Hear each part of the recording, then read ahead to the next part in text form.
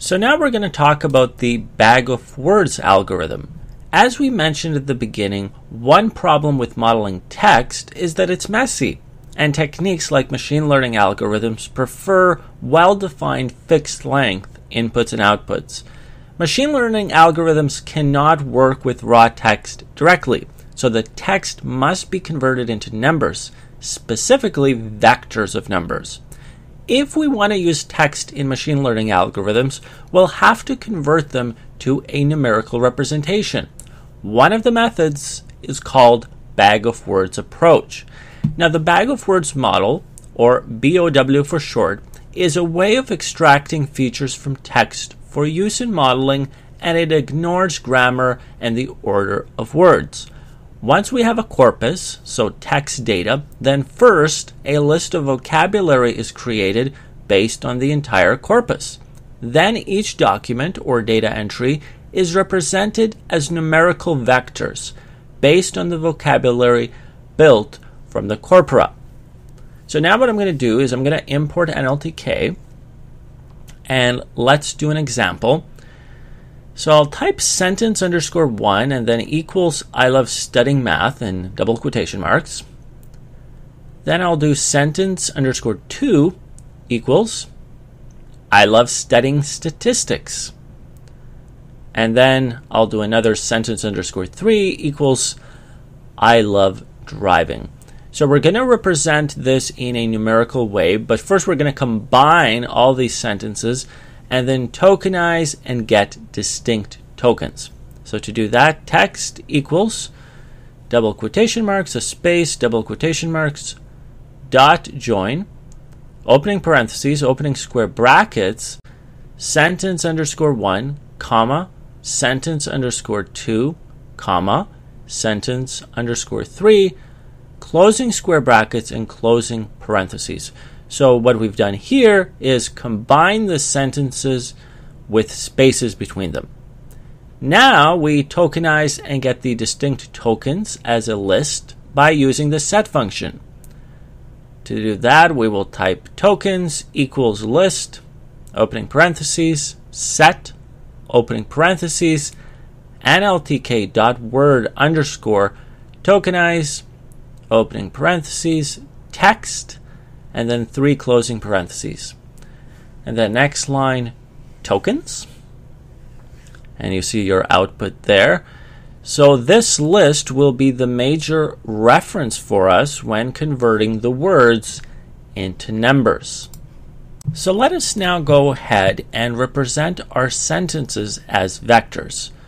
On your screen are the list of terms that we will use to do this. So let's say that the first sentence is I love studying math. So it does not include the terms driving and statistics.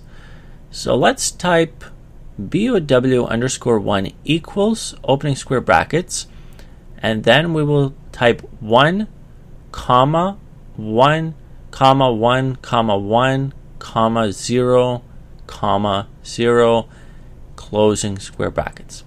And this is, of course, because we have I, we have math, we have the term studying, we have the term love, but we don't have the final two terms, driving and statistics. So that is why we have 0, 0 to end that off.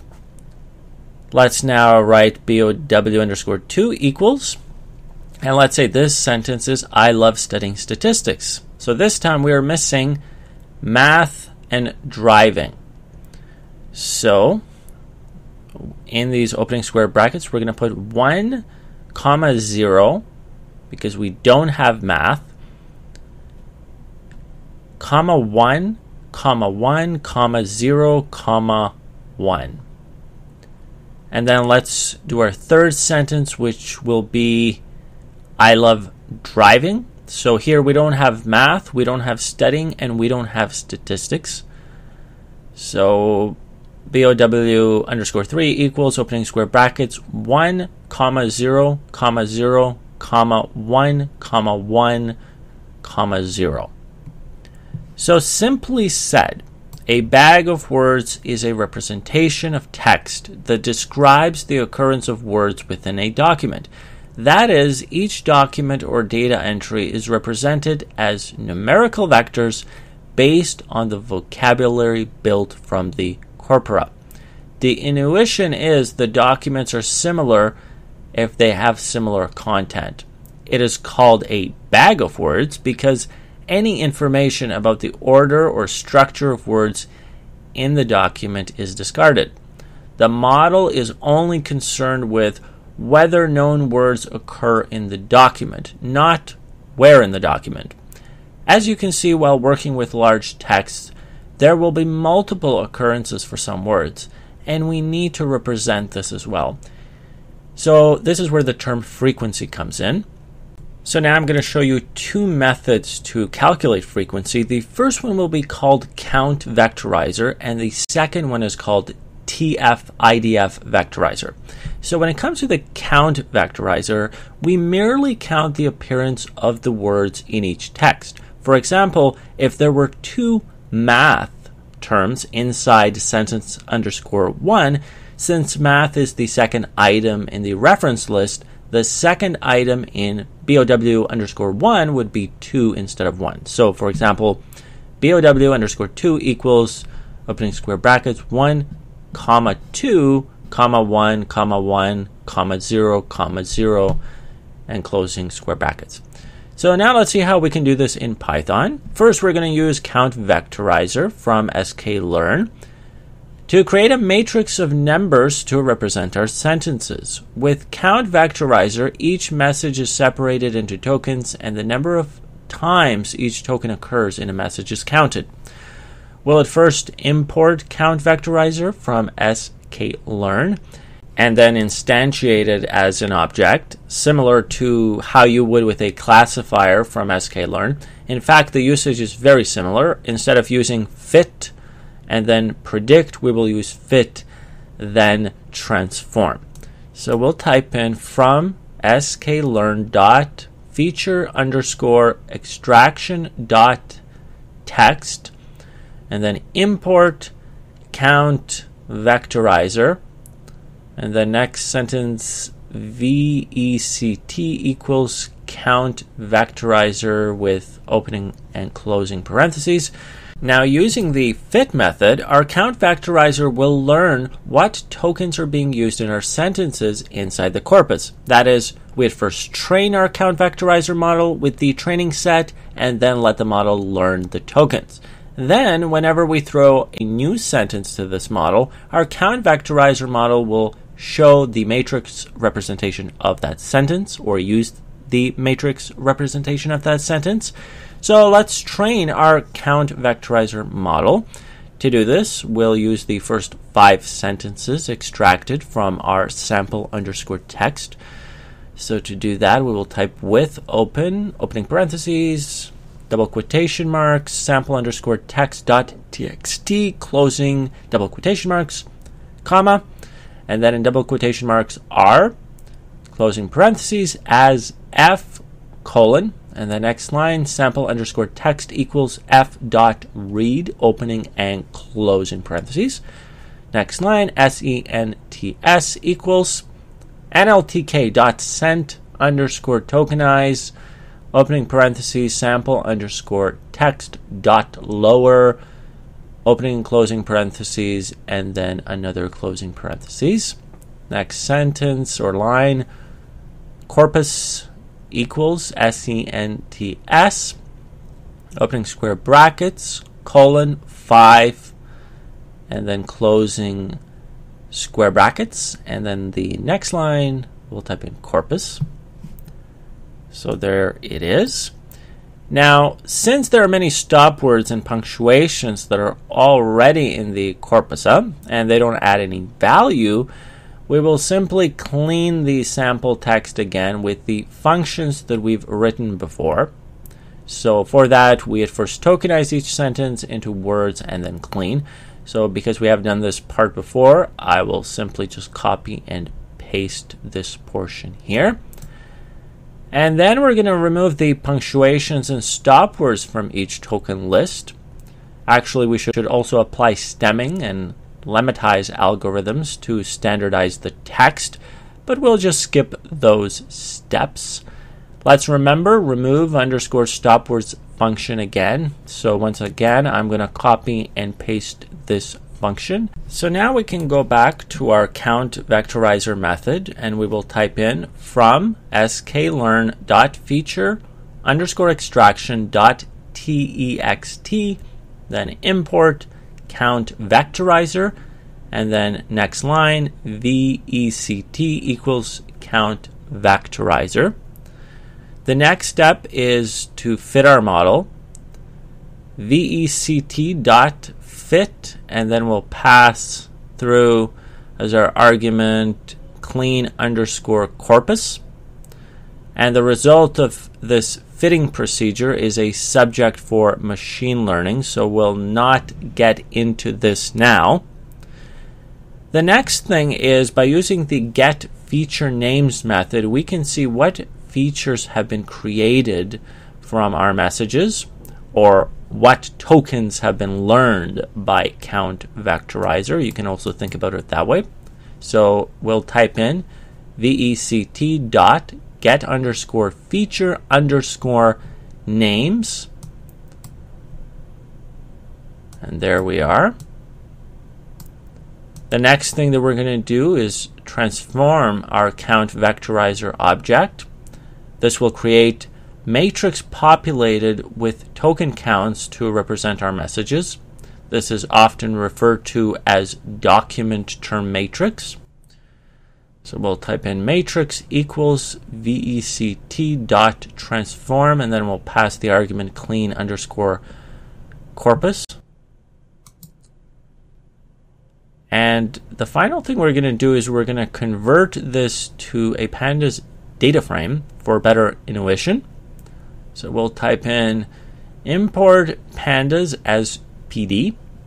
Next line, cv underscore df equals pd dot data frame, opening parentheses, matrix dot to array, opening and closing parentheses, comma, columns equals vect dot get underscore feature underscore names opening and closing parentheses and another closing parentheses and then next line just cv underscore df so as you can see we now have all the frequencies of each token inside a sentence.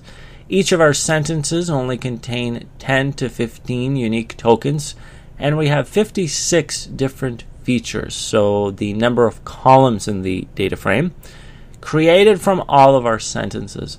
This means each row will mostly be filled with zeros, and in order to save space and computational power, a sparse matrix is created. This means that only the location and value of non zero values is saved. Since we're transforming the same sentences into a model fitted from those sentences, this is not an issue at the moment. But when we try to find a matrix representation of another sentence other than we already have, it's quite possible that many of the features or tokens will not be in the next sentence and all the columns would be zero. So the idea behind the sparse matrix is to save some space because of that issue. However, if we'd like to feed a new sentence into this model and try to get matrix representation, we may have an issue though. Since our model is fitted on the sentences we already have, if a new sentence doesn't have a token that could be recognized by our model, that token wouldn't be represented. Now, in this situation, we simply need to append our new message to our original collection and then refit and transform to make sure we don't lose this information. Now, look at the above table and note that since there are two universe terms in sentence 1 and 5, the entry is 2, or the value is 2 for universe. Now, if we have been working on a ML sentence classifier, we'd be ready to feed our sentence term matrix into our ML classifier or whatever else we had planned. Now, if we want to just take a look at a specific feature, we can do that. So let's type CV underscore DF and then those opening square brackets and then just universe with quotation marks around it. And when we do that, you will see exactly what you saw really in that table, and that is the fact that in the first sentence, you see universe twice, and in the fifth sentence, you see the term universe twice as well. So now let me discuss the other method that I brought up earlier, TF-IDF vectorizer, and this stands for term frequency inverse document frequency. Now, a problem with scoring word frequency is that highly frequent words really do start to dominate the document. They produce a larger score, but they may not contain as much informational content to the model as rarer but perhaps domain specific words. Now, one approach is to rescale the frequency of words by how often they appear in all documents, so that the scores for frequent words like the that are also frequent across all documents are penalized. This approach to scoring is called term frequency inverse document frequency, or TF IDF for short. Now, term frequency is simply referring to the scoring of the frequency of the word in the document, while inverse document frequency is a scoring of how rare the word is across documents. The scores are a weighting where not all words are equally as important or interesting. The scores have the effect of highlighting words that are distinct, that may contain useful information in a given document.